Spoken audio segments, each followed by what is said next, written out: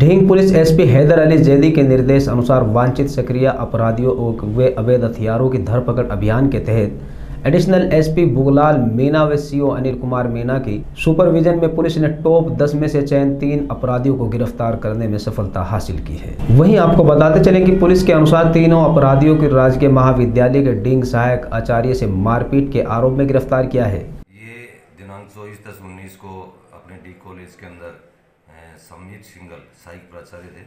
अपनी ड्यूटी के दौरान थे। उसी दौरान उनके साथ दो तीन लड़कों ने जाके धक्कामुक्की की और राजकार्यों में बाधा डाली।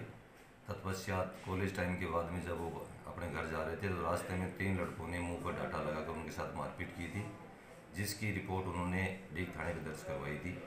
उसी के क्रम में उस घटना में आरोपियों को चिन्हित किया गया और उनको टॉप टेन सक्रिय में ले जाकर उनकी सरगर्मी से तलाश की। करीब डेढ़ माह से फरार चल रहे थे। आज मुखबिर की इतला पर रेलवे स्टेशन से लक्ष्मण जीतू और सचिन, तीन आरोपियों को गिरफ़्तार किया गया है। थाने के सब इंस्पेक्टर कमरुद्दीन के नेतृत्व में दस्तियाब किया और श्रीमान सीओ साहब द्वारा गिरफ़्तार किया गया। सीओ साहब द्वारा ही अनुसंधान किया जा रहा है।